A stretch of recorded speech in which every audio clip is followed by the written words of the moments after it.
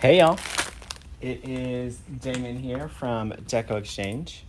Hey, hey, y'all, we are gonna use one of the attachments that were made this weekend to make a fun little wreath.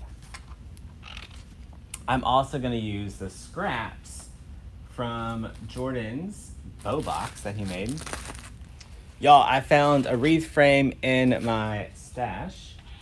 All right, let's get some 21 inch mesh on here. Y'all, we're gonna use Coach Jordan's method.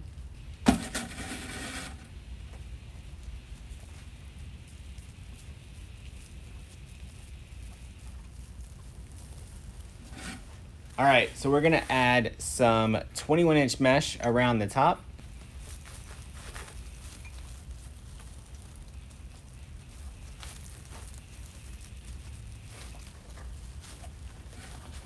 All right, let's do some 10 inch poofs.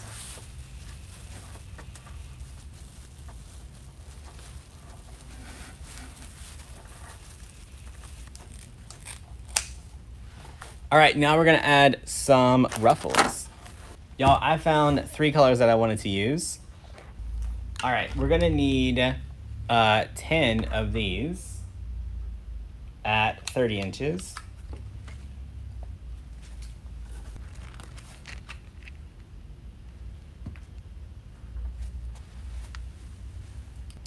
All right. We're gonna curl our edge just a little bit and then scrunch it down the middle.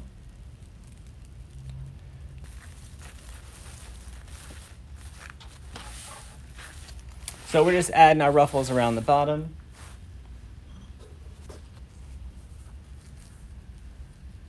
So we're just curling those edges. And y'all, I wasn't paying attention and I cut more than I needed of the 18.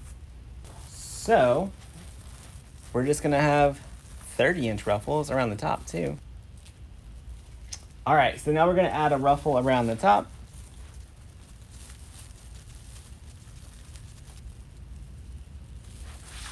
So we're just adding our ruffles all the way around.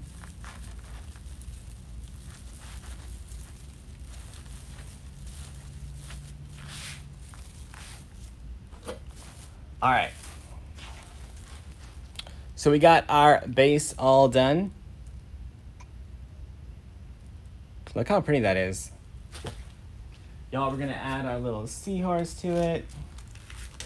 So, unfortunately, these pipe cleaners are not gonna be long enough with how thick I made that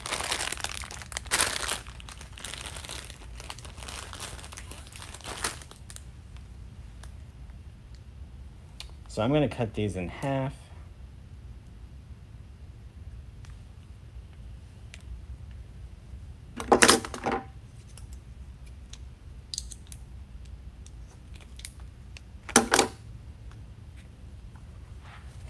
All right, and then I'm just gonna connect them.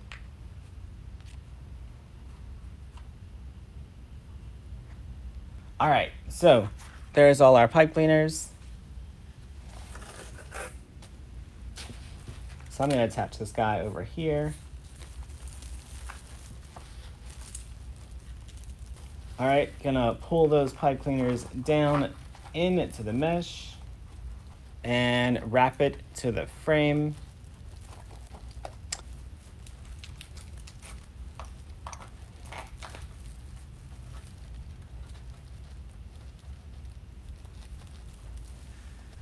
So let's make our bow next.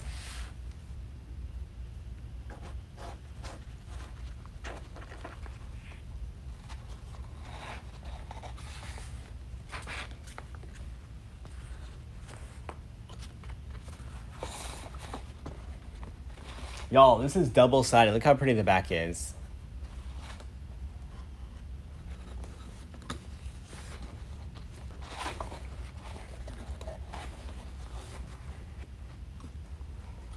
So we're doing a seven inch loop, seven inch loop, eight inch tail, eight inch tail.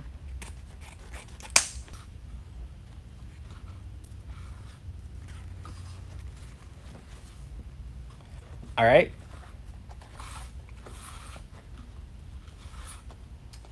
So our loops are just going to get a little bit smaller, but our tails are going to stay about the same.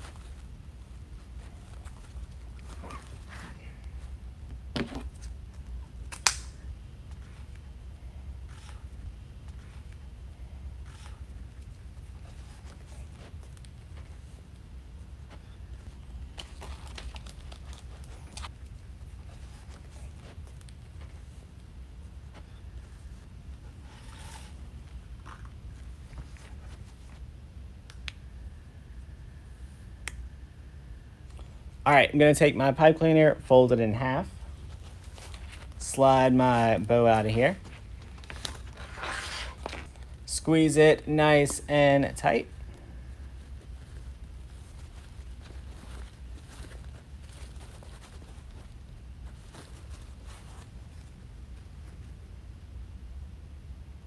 All right, so there is one bow. Gonna get this added right here.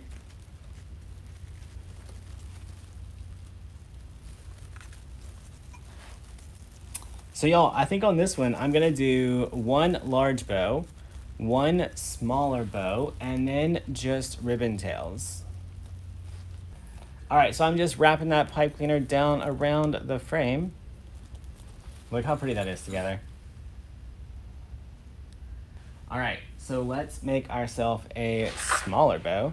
So by smaller bow, I'm just gonna do one loop and two tails of each ribbon.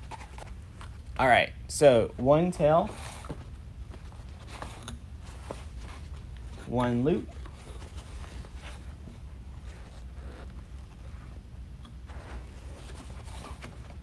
other tail,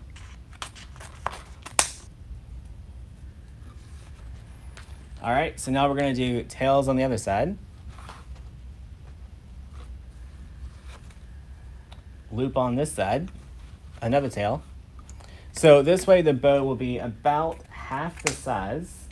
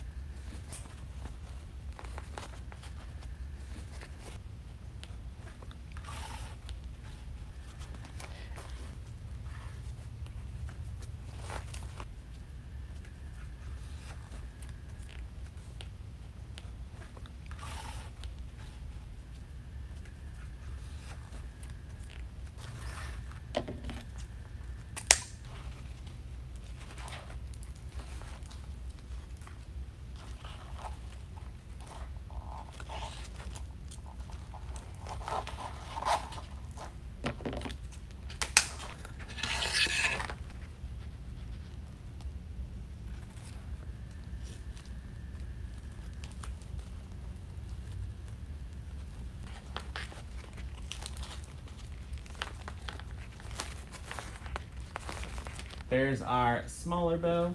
Y'all, and by smaller, it's the same width Um, it's just not as dense because we have less loops.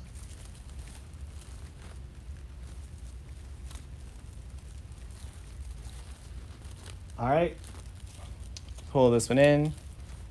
All right, let's get ourselves some ribbon tails added. Y'all, you know what? I'm gonna switch it up and I'm gonna use uh, Jordan's 13 inch ribbon tails and just see if I like it.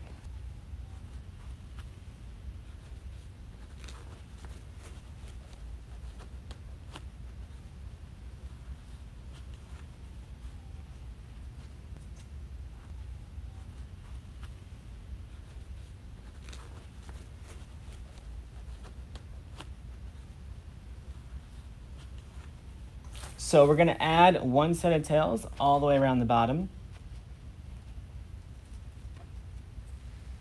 I'm gonna start with my four inch with my green on top, fold it in half. Darcy, you have to make the seahorse yourself. It's part of the coaching group. Give it a good pinch. Fold it in half so wire sides are touching and then just add one of these in to the twist around the bottom. And then we're gonna spread it out right there like that. All right, gonna layer these, fold it in half, give it a pinch, and add it to the next twist.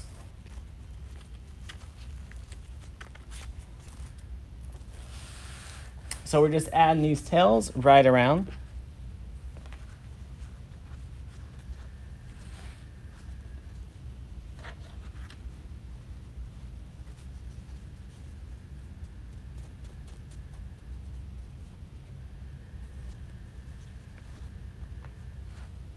All right, so there's all our tails around the bottom. Now we're gonna add some tails around the top where we need them.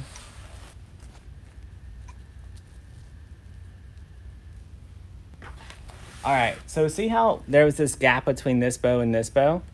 I just wanted one tail to kind of close that gap. All right, let's trim our ribbon tails.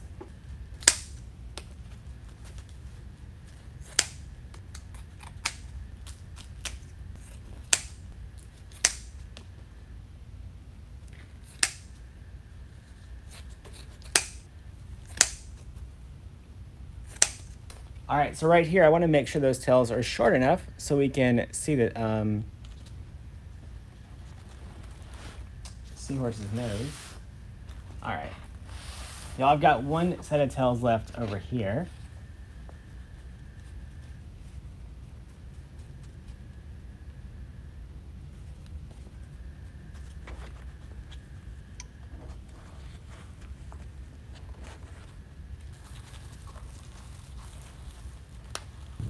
All right. And I think she's done, y'all. Look how cute.